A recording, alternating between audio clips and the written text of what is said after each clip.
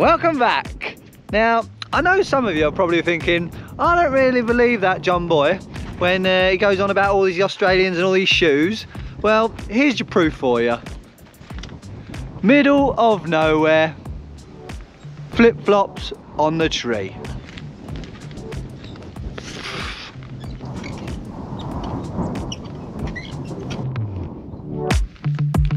Hi there, uh, if you're new here, I'm Jess, that's Jon. He's the one with the totally weird obsession with flip-flops. you didn't believe me, did you? You didn't believe me, but I found all the shoes. it's been doing my head in this whole trip about those bloody shoes. Should have seen him, it was like a kid in a candy shop when he saw the flip-flop Christmas tree. Um, but we left Albany today and we're on our way to Bremer Bay. Um, and we're really excited because we think we found a beach we're allowed to camp on overnight. So cross your fingers for us. We'll either have a great beach camp or we'll get booked.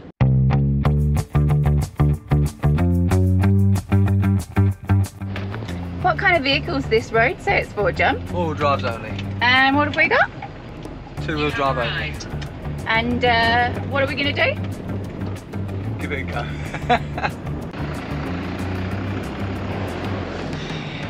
We did it! We're Woo! on.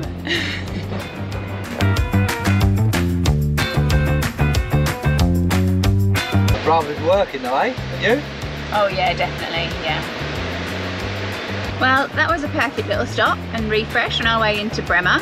So um, I think we'll go check out what the town's got in store and then for the big beach camp up. Too easy, eh? Well, I've just had a word with her and she reckons she now identifies as a four-wheel drive. So, we've gone to check out the access point for this from the other side of the river. Couldn't see a lot. We ummed and ahed for half an hour, uh, tried to find some information about it. No one goes there. There's uh, there's two reviews on WikiCamps and one blog. That's it. So we're going in blind. Give it a go, eh? Give it a go. So I love a red dirt road. However, they pretty much always come with corrugations. And corrugations will rattle your van to pieces. So Jon's having to let the tyres down and you love. Yeah. Yeah, they reckon um, go down to about, I'm going to go down to about 30 psi now, but then when we get to the, the beach, we're going to have to go down a little bit more, so yeah, see how it goes.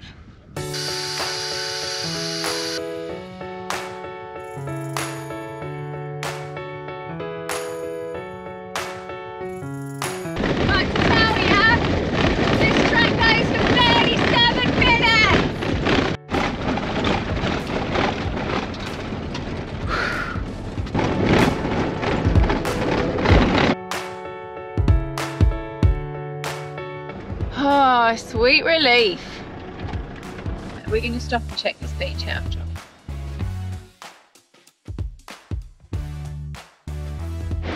It's happened.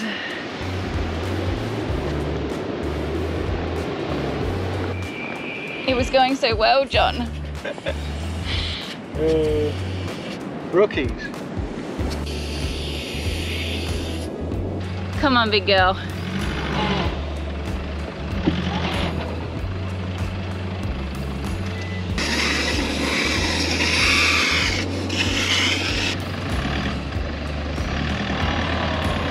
Go, go, go, go, go, go, go, go, go, go, go, go, go!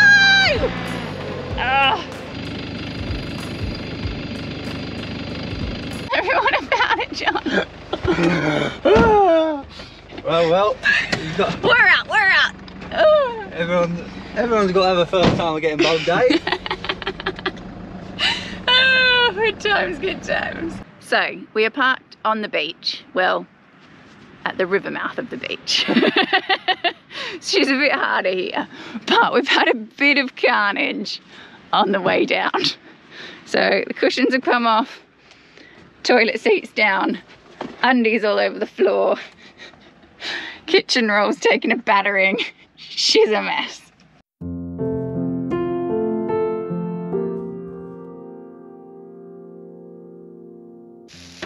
Well, we're all going to get stuck at some point, aren't we? But uh, I've never done forward driving before or anything like that. And thinking about it now, maybe I should have gone forward instead of backwards. But I, I have to we're just winging it, aren't we? So maybe I'll do a bit of YouTube research. But uh, I end up having to let the tyres down to about 10 psi.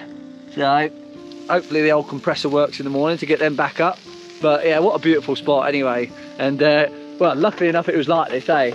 Because that journey down there, I thought if we get here and we can't stay here, it's going to be a nightmare. It's definitely the worst road I've ever driven Oh, on. horrendous. But uh, all I kept thinking was like the poor old suspension was screaming its head off all the way down.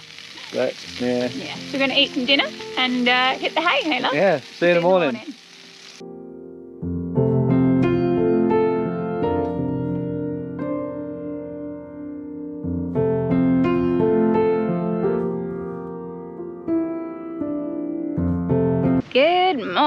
Well, that was our first free camp on a beach we've ever had, and hopefully it won't be the last. Yeah. Anyway, just as long as there's no bogging involved. it was brilliant. Although I woke up at like one o'clock in the morning, leapt out of bed because I've been having a nightmare that we were like flooded and we are getting floating away. Yeah, it doesn't help that all, all this. I mean, it's good that they do it, but they show plaques with cars that are sunk because obviously a lot of people go on the beaches and uh, it'll get real soft and yeah, like we were yesterday, but a bit worse, I suppose. Yeah. So I leapt out of bed. Jon, Jon, we're in the water. We went. We were totally fine. So um, yeah. But other than that, it was a lovely night, wasn't it? Yeah. But uh, yeah, we're just gonna have a little walk along the beach now. Nice little steady, slow morning, and um, then we'll get on our way to Esperance. and down the Rattley Road. Yeah. Who'd get stuck there, eh, boy? I don't know, some amateurs.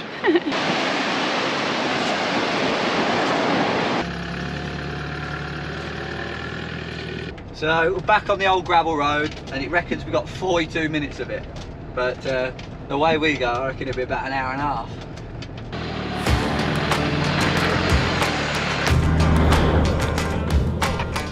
Show you behind the scenes photo shoot for YouTube. We are not professional photographers. Don't see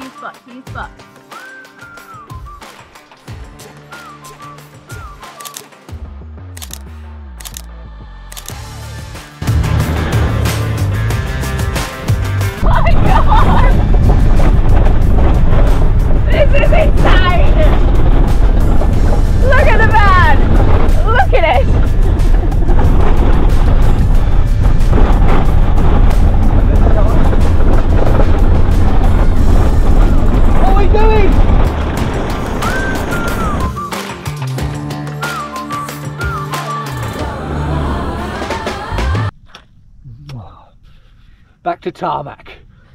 I think the way out was definitely worse than the way in.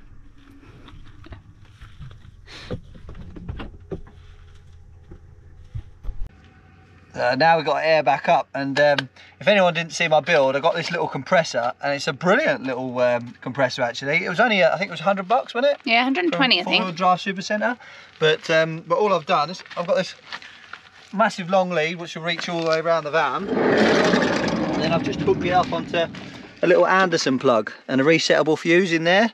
So yeah it's a brilliant little kit and it inflates real quick so I'm well impressed with that. She's back together. wow what an experience that was. Never again.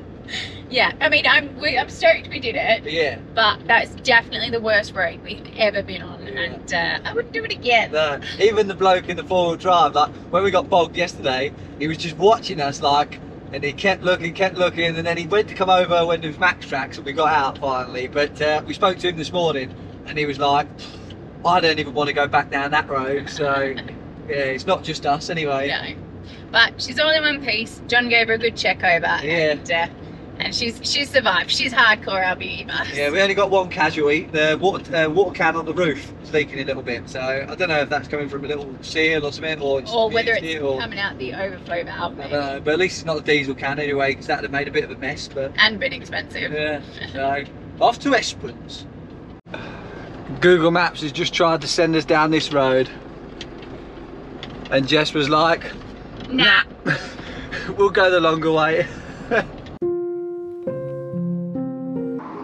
I've just been driving along and everywhere I can see it looks like there's fires everywhere. And then I've suddenly just got to this bit and this is unbelievable. Like there's obviously a bushfire gone through real recent because it still smells of uh, fire.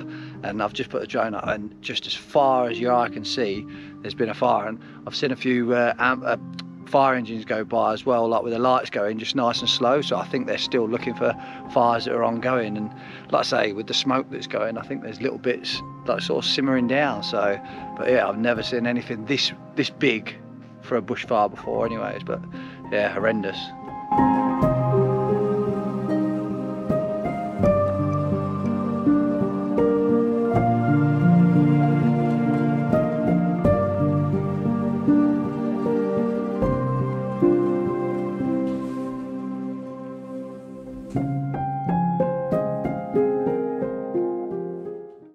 that uh, recording I just did then was obviously at the beginning of the fire because just the further and further I got along, it just got worse and worse, and it got to the stage where literally everything was still on fire. It was unbelievable. I don't know if you can see it in the clips, but it was literally like still flames coming out of the tree trunks. And it was so hot, wasn't it? The heat radiating from the side of the road was terrifying. So uh, the, all the electrical uh, poles go through there, and it looks like they've replaced them, but like the old ones are still just on the side, just smouldering away. And I suppose they can't, they haven't got to worry about putting it out because everything's dead there. But then the other side of the the road is like all brand new bush sort of Yeah. thing. So That's why they've got the fire crews literally just constantly cruising up and down the road and the police looking for anything that like really sparks up again. yeah, just one wind change direction and it's go again. It's all go. So I had a little look as well, and it said that it started on Tuesday. Today's Friday, to give you some perspective on how long that's been going. And it was because a thunderstorm came through, and it was lit by lightning. And they reckon that in this region and up to Kalgoorlie, over 20 fires were lit just because of lightning strikes, which is just terrifying to think of, isn't it? You know, a storm comes through, you think you're going to get a bit of rain, and instead you've got 20 fires setting things alight. And it said that um, just that fire that we saw alone has burned through 12,000 hectares of land, which is just, it's incomprehensible, isn't it? Absolutely terrifying.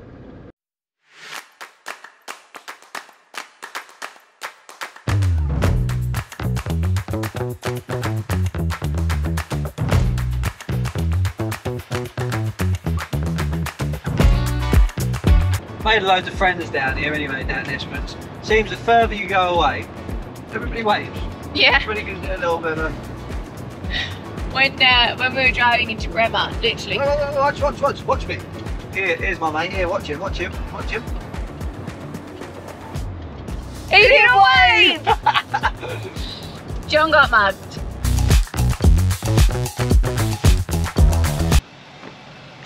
Oh man, Oh, I need a stretch after that. We have finally made it to Esperance. It's now five o'clock. We left that beach this morning at nine o'clock.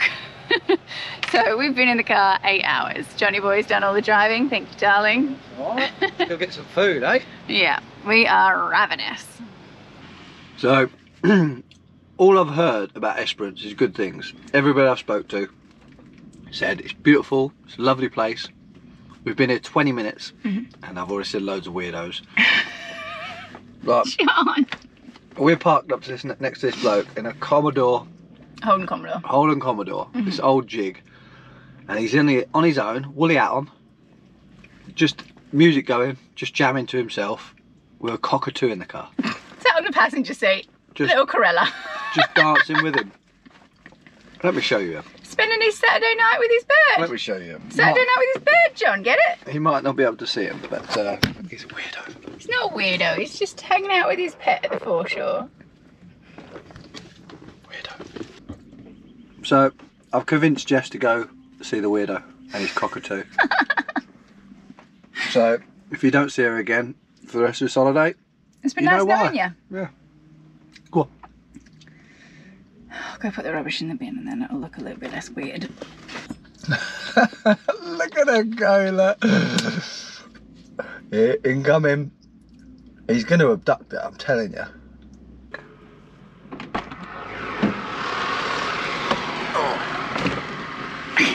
I'm back. He was a lovely bloke. He um, was actually a little rescue cockatoo. Alright. He's got two others. They're all from car accidents that he saved. One's missing the bottom of its beak. That one can't fly. So yeah. So very nice maybe maybe he's not a weirdo. No, he's a really lovely man. Yeah. And nice chat to him about all the animals he's rescued and yeah. Just wears a woolly hat in summer. Our bellies are full. We've met a nice bird and now we need to find somewhere to sleep for the night, have we?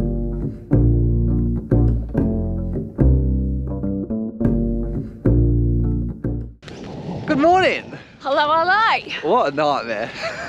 We haven't seen you for a couple of days. yeah. So um, we had to get all editing done and all that sort of stuff, and our laptop just had a big meltdown. Massive meltdown. So uh, we had to take it to a bloke in town and uh, him to have a look at it. But anyway, we got it sorted. So we're uh, where are we?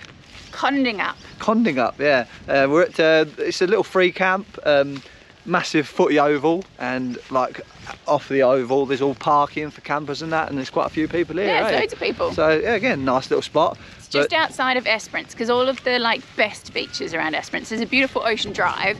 All the best beaches around Esperance are in the Cape Le Grand National Park or Cape Barrett National Park. So um, yeah, we're on our way out there today. Got a few little jobs to finish off this morning, um, and then we'll go and check out these beaches and hopefully there'll be some sunshine.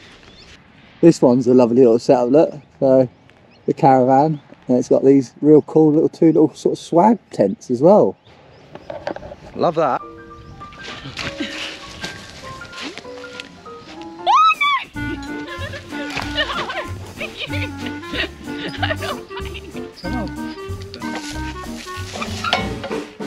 Jon, come on. We're going on the slide in a minute.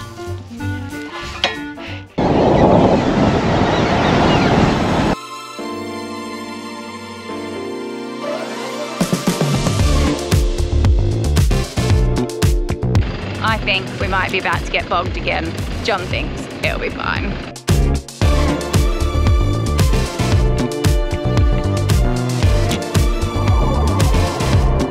Time for a bit of brekkie. Hopefully, by the time we've had some breakfast, the sun might fake its head out.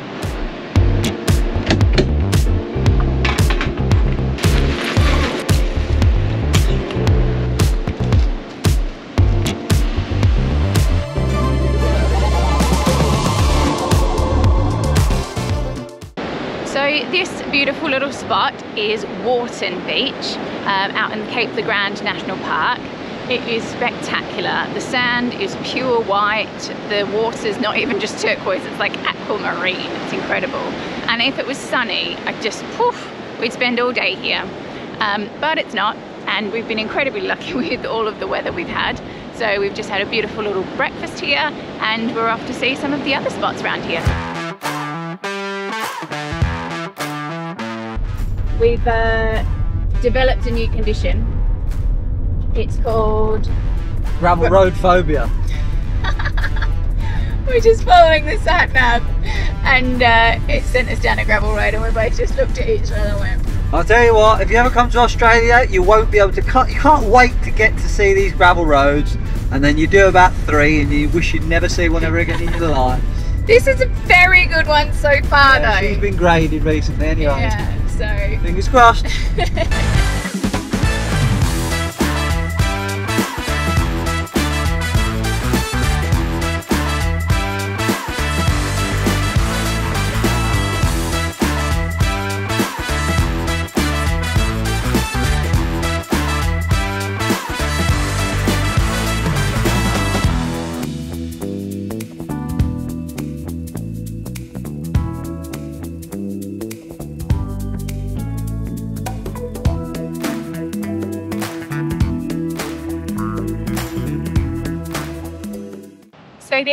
is Lucky Bay, and I think she definitely lives up to her name. She's had a beautiful swim, and there's been some kangaroos on the beach, and there's even these little guys just having a little afternoon snooze at the picnic benches. How great is that? Well, Peaceful Bay was beautiful. Oh my God, Lucky Bay! So uh, next stop is Hellfire Bay. And let's hope she doesn't quite live up to her name as much. Um, this one, I was just reading, it was called Lucky Bay when Matthew Flinders was charting like the coast of Australia. Uh, and he came here in 1802. and he usually like tried to go away from the mainland out to the deeper seas during the night but because there's so many like rocky outcrops and little islands and stuff here in this archipelago it was too treacherous so they were desperate to find somewhere to stay for the night and they came in and found this lovely sandy bay and they stayed here for four days in the end That was lucky, wasn't it it? was really lucky so that's why they called it Lucky Bay. And when the botanist like got off the boat to go and have a look around, they took 130 samples of new plants from this area that were 100 of them completely new to science. That was pretty cool. See, I'd tell you this information. I know it too, obviously. He doesn't. But, uh, but he I never thought- knows even where we are. True.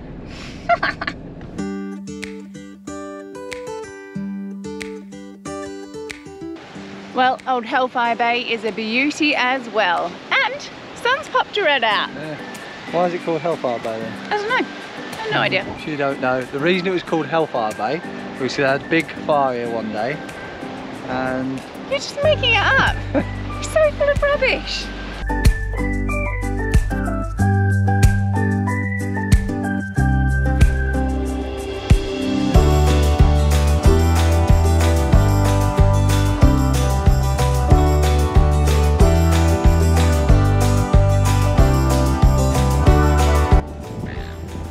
So we just pulled up here at Bandy Creek Boat Harbour. We just oh my god. we just came to take a nice little chill and have some food and that. Pulled up and tell us what it is, Jess. A seal or sea lion? sea lion. A sea lion, another one, but it was like a little pet. He It just come to the shore and yeah. Checked us out. Unbelievable, but uh, it's so deep out here though. Look, it's real shallow, and then it literally just drops off a cliff. yeah. So you can't go swimming or anything like that. Like there's signs up, Yeah. no, go swimming. But I reckon if you did, I reckon he'd be swimming with you, wouldn't Yeah. That just and it just like popped up out of nowhere because it's like so deep. it, he disappears and then it just pops up on the shore. Yeah. Oh, honestly, I, I feel like it's all my birthdays at once. Yeah, it's never ending.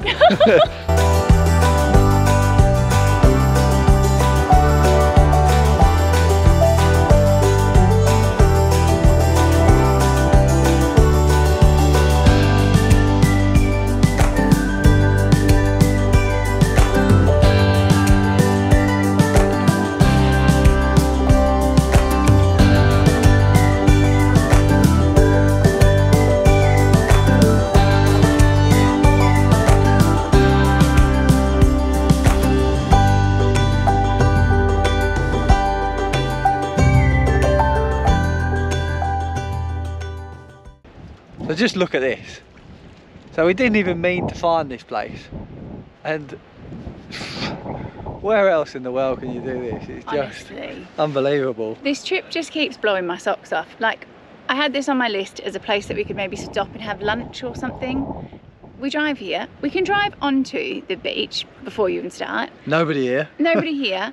And then a little sea lion pops his head up. I just, But if you've ever thought of coming to Australia, like I just can't highly recommend it enough because Jess lived there all her life and I lived here for four years and it still amazes us doing what we're doing now. So yeah, I can't, I can't express how grateful I feel, how lucky I feel. Yeah, just, just come and do it. just come, and do do it. it. so we're going to leave you here anyway.